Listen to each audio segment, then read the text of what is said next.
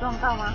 左转灯亮，公车正在转弯，前方斑马线一名阿嬷还在过马路。虽然看到公车逼近，想加速跑开，但仍然被擦撞倒地。撞到了，啊！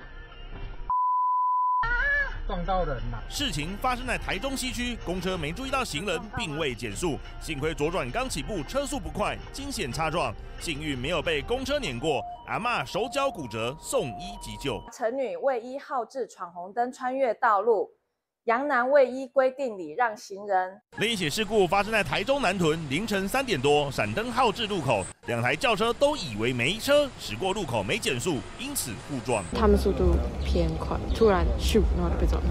白色 BMW 侧面钣金被撞得歪七扭八，另一台 Toyota 车头全毁。二十岁男驾驶表情痛苦，坐在地上，左肩受伤，救护人员紧急救治送医。闪灯路口一台闪黄灯没减速一台闪红灯没有停让这下人车双双挂彩。记者王俊杰陈广瑞陈正茂台。